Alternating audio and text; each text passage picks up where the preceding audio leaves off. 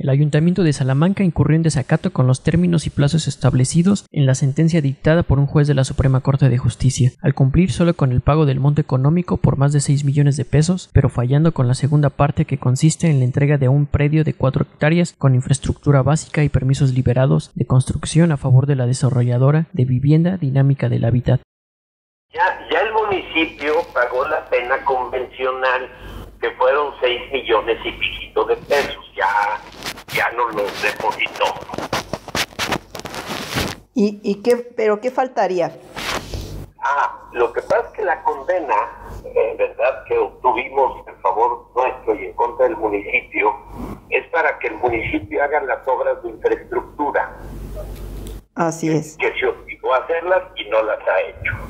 El apoderado legal de la fraccionaria Jesús González indicó que el municipio ha accedido en los plazos establecidos para cumplir con otra parte de la sentencia, consistente en la entrega de un terreno con servicios básicos.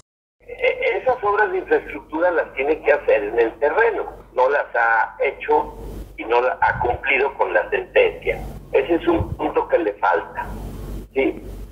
Lo otro punto es el otorgamiento de los permisos para el fraccionamiento.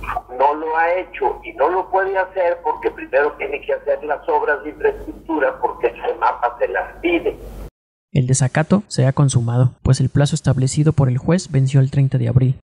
De hecho, el plazo ya se les venció hace ya dos meses, les dio el juzgado 30 días y no han cumplido con ello. Lo que pasa está que esas obras de infraestructura son tres tipos de obra. Una obra es eléctrica, es decir, que para entregar a Comisión Federal. Otra es el agua y otro es el drenaje. Entonces ya hicieron la obra de infraestructura eléctrica y lo que es el, el agua potable, pero les falta el drenaje.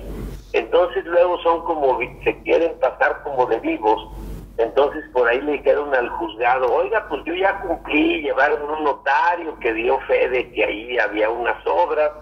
Sin embargo, quien debe de calificar si están completas las obras es eh, el CEMAPAS en el caso del agua potable y el drenaje, ¿verdad? No un notario.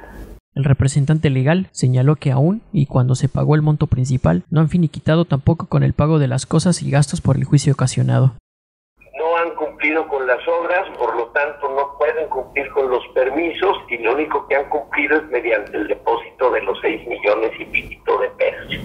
Ah. Eso ya no los depositaron. Así es. Eh, ¿Tiene previsto? Sí, dígame. Ya de pagar las costas y gastos del juicio que ocasionaron. ¿Y que asciende a cuánto?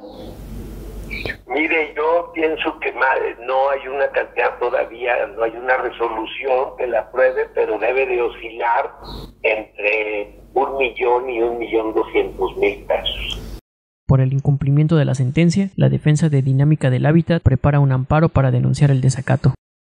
El juzgado les dio 30 días hace como dos meses. Sí. En este momento estamos promoviendo un amparo para denunciarlos ante el, un juez federal por el incumplimiento a una, a una ejecutoria de amparo y pues no sé, en otros dos estados, en Tabasco y en Tlaxcala, la Corte acaba de destituir a los funcionarios municipales en turno, es decir, presidente municipal y todo el cabildo, y, los, y, ordenó una orden de aprehensión por el delito de incumplimiento. Así es. Es una autoridad municipal, no puede, sí, no puede eh, eh, desobedecer eh, sentencias de los juzgados federales. El licenciado Jesús González lamentó el desinterés y prepotencia de la presidencia municipal encabezada por Antonio Redondo Muñoz, en perjuicio del propio municipio y de los albantinos, al reprimir la construcción de 300 viviendas con todo lo que implica el desarrollo y el detonante económico y oportunidad de empleo que este tipo de proyectos ofrece. Y no hay ningún ni nada, estos señores, ¿verdad? No, pues ni siquiera una llamada o. Total desinterés. Sí, por parte de la autoridad, de la autoridad municipal, pues hay una prepotencia bárbara, ¿verdad? No sé qué se sienten estos señores. Lo que pasa está que estos señores no, nunca ha habido ningún, ya no hay por parte de ellos ningún acercamiento. Yo le aseguro que si hablo ni siquiera me los comunica. Así es. Total. Están como encaprichados, como es que estos señores creen que el municipio es como de ellos, ¿no? El representante legal indicó que solo están en la espera que tanto CFE como Semapaz entregue al juzgado federal un informe en donde dé a conocer el terreno ubicado sobre la avenida Salamanca, frente al puente de San Juan de Rasos, que cuente con la infraestructura hidráulica a la que se comprometió el municipio, así como la liberación de permisos y en caso de no ser así, estarán promoviendo el amparo de desacato a la resolución de un juez federal. Con información e imágenes de Josefina Montecillos del Salmantino, informó para TV Libertad Antonio Barajas.